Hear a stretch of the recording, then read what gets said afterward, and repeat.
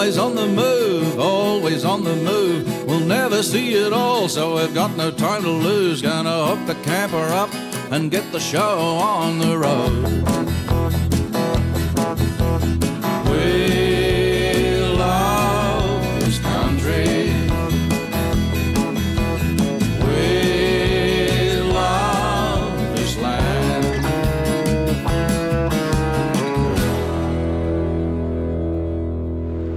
G'day, I'm Barry Ion. Gee, what a day.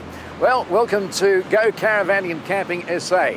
This week, we continue our southern road trip from KI to Robe, and we feature a brand new Jayco Sterling caravan. It's a ripper. Also, Tony talks torsion bars, hitches and chains, and he cooks up some marmalade glazed chicken, yumbo. And don't forget, for your chance to win that off-road challenge camper trailer, keep watching for our keyword. But right now, let's catch up with Julie and Peter on their way to Robe. Our family this week are the Joneses, travelling in a Jayco Sterling caravan because it's fully self-contained with all the modern features and our Julie likes her privacy.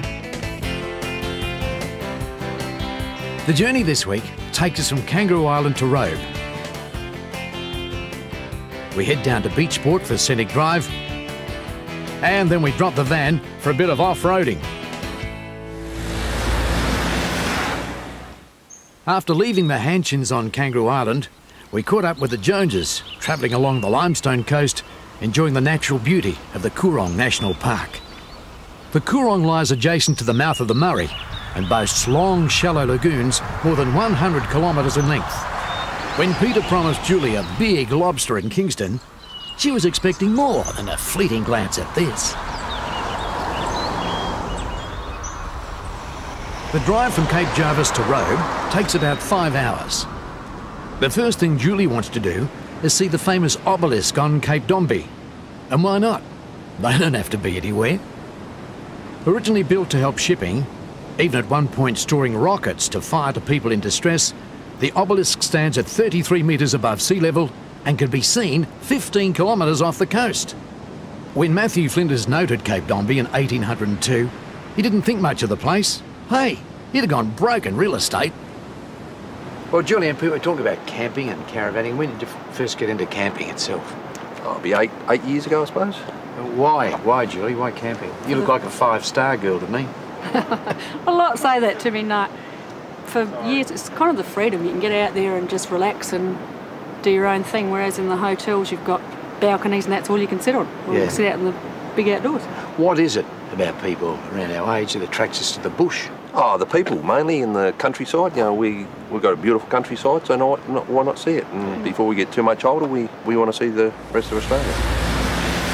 In a previous episode, we realised that there were two types of tow bars. There's Class 1 and Class 2.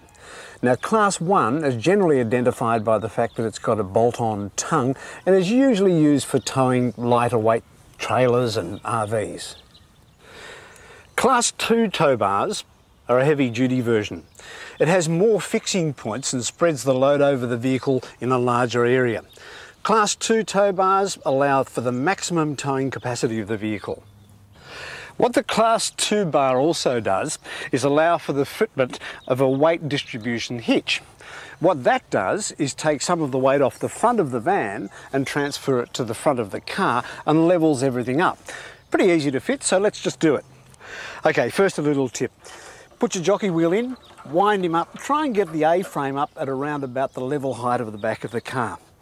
Your bars start off parallel with the back of the car, into the eyelet, into the sleeve, and then bring your chain around so that one of the eyelets is going to go up over the hook onto your lifter, take a bit of the strain up, and then with your bar to give you more leverage, the handle brings it up. The, the pin will go in from the front, not from the back, and slides through, and then take your handle away. We're going to take the jockey wheel out and do the other side. Okay, so jockey wheel comes out, place him to the side. We'll just put the clamp back in, make sure it's nice and secure. The wheel has to come off because this bar won't fit in while the wheel's in place. And then we repeat the process. Parallel with the car with the bar, eyelets in, get our chain up to the right level, over to the hook, place it in position, use our leverage bar to close it up. Our pin simply goes in again from the front, locks into position, take the bar away. How easy is that? Look at what we've created here. A beautiful balanced motoring package with some simple equipment. Just a couple of small things. Don't buy D shackles unless they've got the weight rating stamped on them. Oh, one small thing, a lot of people seem to think that if you've only got one chain, you've got problems. That's quite legal, so don't worry about that. I guess the overall message is you've got such an enormous investment here and an enormous investment here. Why try and scrimp and save money? Happy motoring.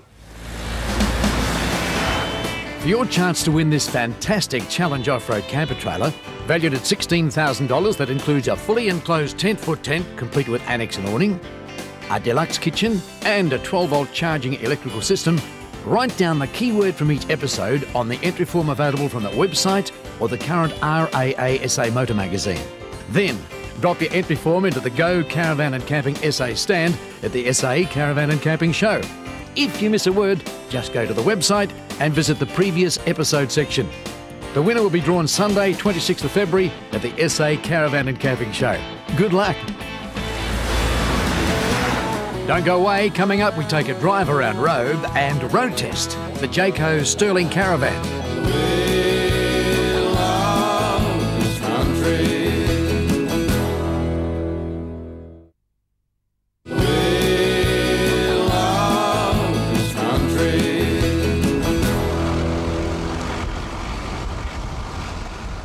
Before unhooking the van, Peter and Julie take a drive around the historic port of Robe, which, Julie tells Peter, was named after a very unpopular governor.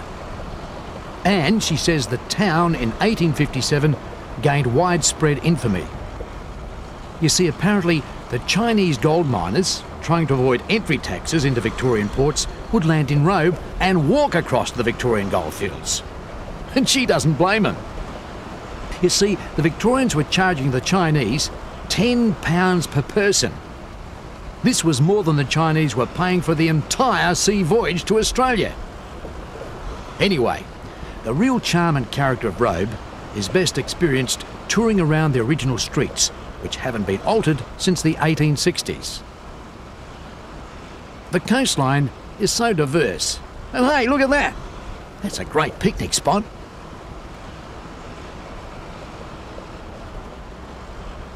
Our couple have been told there are 45 places of historical interest. Peter has added to that 10 restaurants, a couple of cafes, a few pubs, and three caravan parks. I think they've found one they like. Let's leave them to freshen up.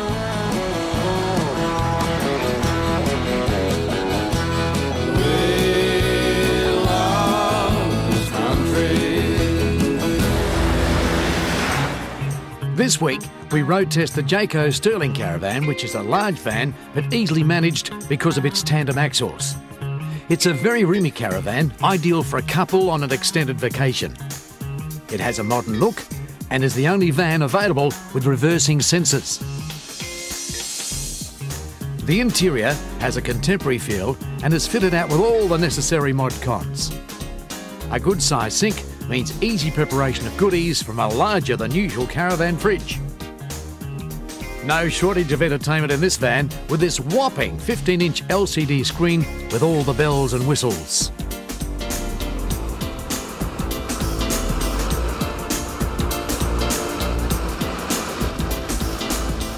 This Jayco Sterling Caravan has had a change in body shape, making it more streamlined and easy to tow.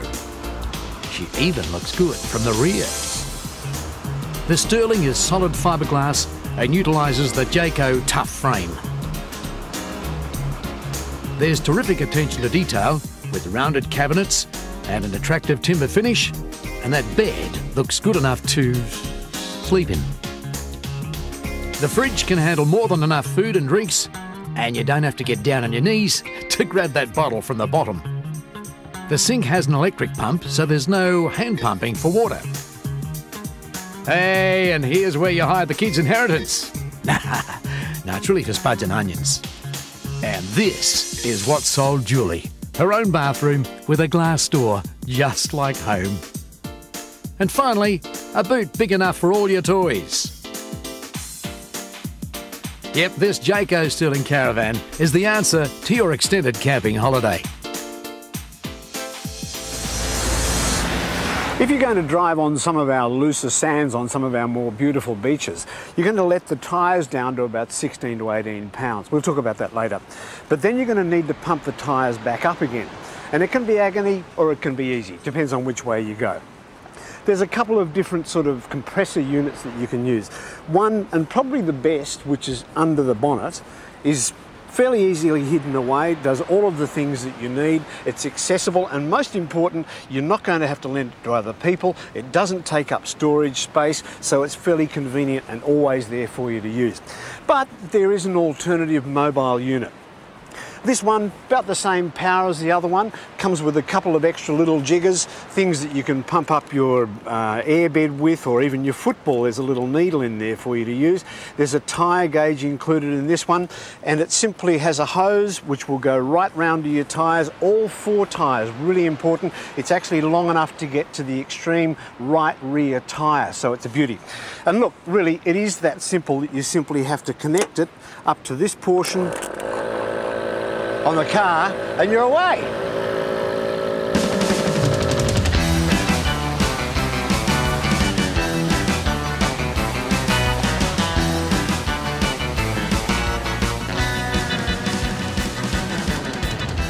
Hey, just another thing. You've spent the day in the surf, you've been playing beach cricket, you've been grovelling around in the dirt, and at the end of the day, what you're going to need is a shower. Not just a shower, but a luxury hot shower from Glynde. These articles, quite simply, fit under the bonnet. You connect a couple of hoses to them, into the water, and give yourself a lovely hot shower.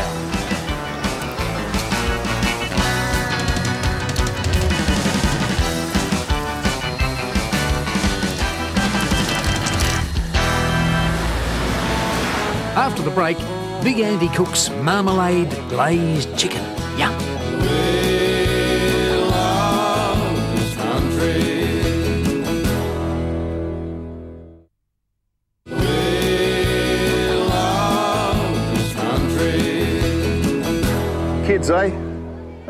Great. Actually, you know the difference between snot and broccoli? You can't get a kid to eat broccoli. Anyway, welcome to the show today. I've got a real treat for you.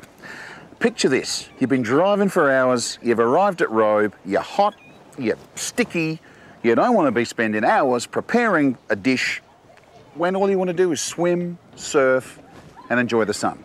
So, I have something very simple and absolutely delish for you today. I've got a marmalade glazed chicken breast, and it's absolutely spectacular. It's so simple, you're not going to believe it. Okay, what we've got a little bit of Worcestershire, we've got marmalade. Okay, now this particular marmalade I chose is called citrus marmalade, and it's got a whole lot of different, like mandarin, lemon, lime. Hey, bit of variation. Never hurt anyone. Bit of lemon pepper, some minced garlic, bit of salt and pepper to taste, a cup of white wine. Okay, we, we make that into a, a delicious marinade. We soak the chicken breasts in it for about half an hour and we whack them on the hot plate. It's as simple as that. And we're going to do that right now. That's a full chicken breast and you can see it's pretty thick. Okay, so what we do is we just cut it. Just cut it down the middle like this. Okay, and it just, you know, makes it a bit thinner, a bit easier to cook. So these have been soaking for about half an hour. They are absolutely sensational. I could drink that, I'm telling you, I could drink it.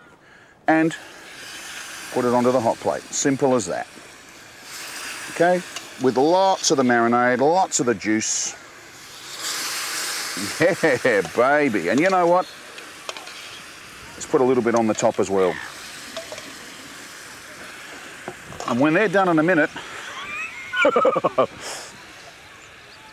Now, look, we got so excited about cooking these chicken breasts, we decided we'd cook up a whole batch for everybody. I mean, there's just hundreds of thousands of people standing around here. So, what we're going to do, we're going to baste the rest of them, okay? So, we just use this, look, we just paint it on like this, okay, just to cover the meat. And with chicken, don't cook it too long, it's going to go all tough and yucky, like an old boot. You can see how golden brown they are. They look sensational. Remember, when you use this marinade, at the end, don't pour the marinade over the meat you've cooked. You've had raw chicken sitting in that. Not good. I prepared some earlier. Down there, see? See, this is the one I prepared earlier. Okay, so we're going to use that on the chicken breast. These are ready. They're golden brown, they're delicious, they're caramelized. They're just ready to rock and roll. And look, look at the colour of them. See the, oh, look. It's absolutely gorgeous. You may think that looks burnt, and you have every right to think that. And you know what? You are probably right. But in interest of television, you're wrong. Look. Lord have mercy, baby. Then we pour some of this over the top. Look. Oh. Yes, my children. Come to me, my children. Yes. Look.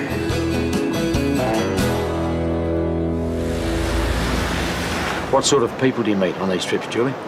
Well, actually, a lot of people, some are a bit older than us, but we're finding that, you know, you can sit down and you really enjoy people in the parks and so forth, where you can sit and, and have a drink and a talk and Yeah. find out all the different places to go. It's really quite interesting. Julie and Peter didn't take long to meet some like minded people staying in the caravan park. Jeff and Karen started travelling two months ago and have been in Robe for about three days. Jeff reckons they should all jump in Peter's four wheel drive and go for a spin to Beachport along the Bowman Scenic Drive. That's the beauty of a caravan. You set it up, unhook it, and leave it behind while you go off to explore.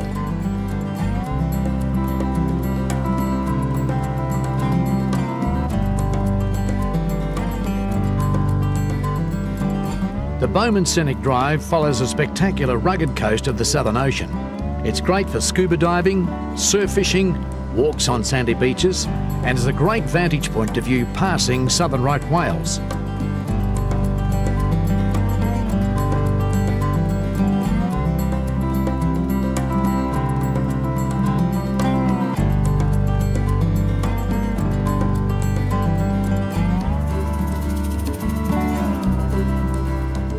Have a look at that. It's like a silver ant hitching a ride on a black bitumen snake, weaving its way through the sandhills.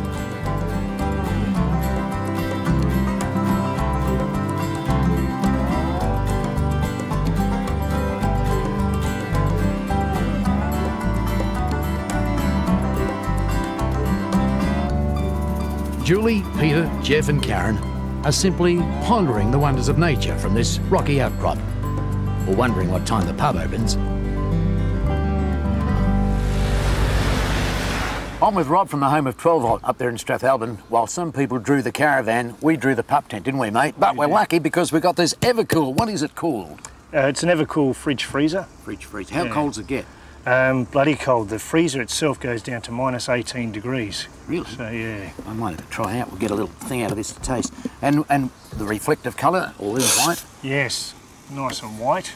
Great for reflecting the heat. Tough because this is going to bang around on the back of a four-wheel drive. Absolutely. They um, they use them a lot in Queensland on um, on fishing boats. New shoes, That's all right. Keep them wet. Oh, right? yeah, because it's not beer, mate.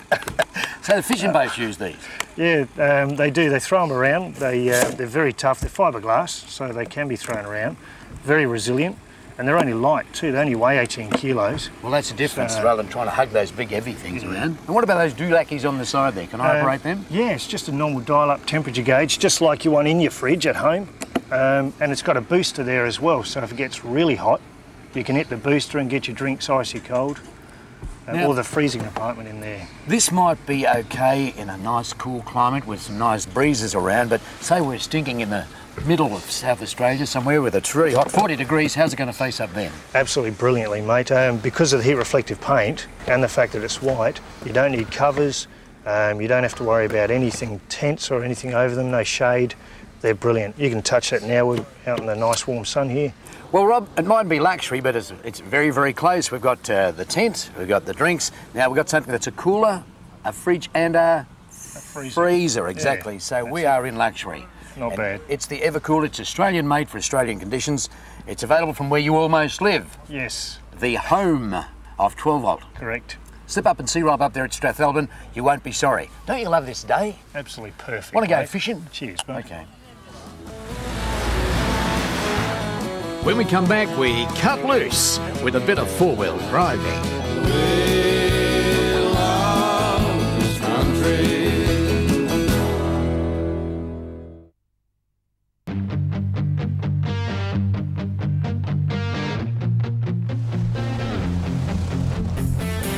Getting off the beaten track is one of the great things about owning a four wheel drive. Julie and Peter discovered this designated track while out on the Bowman Scenic Drive.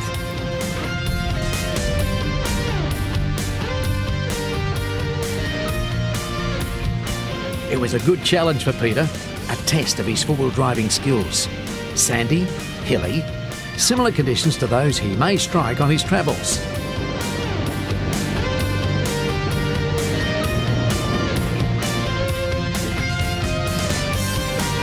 Everyone loves an adventure. All products on today's show can be seen at the SA Caravan and Camping Show, Royal Adelaide Showgrounds from Wednesday 22nd to Sunday 26th of February. We'll see you there. Well, that's our show for this week. I hope you picked up the key word for this episode and your chance to win that off-road challenge camper trailer. It's a ripper.